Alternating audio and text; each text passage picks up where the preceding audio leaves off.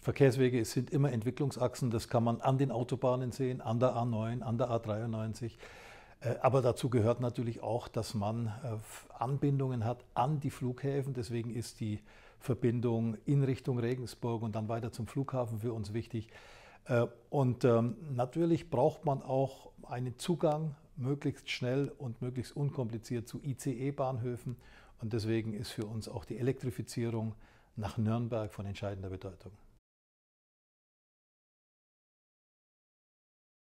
In dieser Woche klare Aussage des zuständigen Staatssekretärs im Bundesverkehrsministerium, Enak Fallemann, der klipp und klar gesagt hat, diese Elektrifizierung kommt und er könne überhaupt nicht verstehen, warum das immer in Zweifel gezogen wird.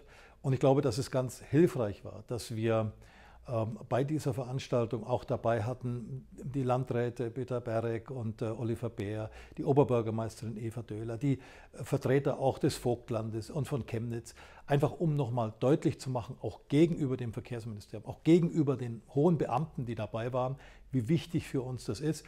Aber wie gesagt, das Verkehrsministerium hat keinen Zweifel daran gelassen, die Elektrifizierung kommt äh, und daran werden wir das Ministerium auch festhalten. Ja, Deutschlandtakt bedeutet im Grunde Fernverkehr auf den Strecken. Äh, und es steht fest, es wird Fernverkehr geben auf der Strecke äh, Dresden, Chemnitz, Hof nach Nürnberg. Äh, wo es offensichtlich noch keine Interessenten gibt, ist auf der Strecke von Hof in Richtung Leipzig. Hier ist die Bahn gefordert, Fernverkehr zu betreiben. Und ich denke, wir werden alles unternehmen, um da entsprechend auch Druck zu machen. Bisher scheint es so, als ob der Bund äh, die Bahn verantwortlich macht und umgekehrt, wir werden uns damit nicht zufrieden geben. Im Bundeshaushalt, im Verkehrshaushalt haben wir riesen Geldsummen zur Verfügung gestellt, um die Infrastruktur auszubauen. Das ist notwendig zur Herstellung gleichwertiger Lebensverhältnisse.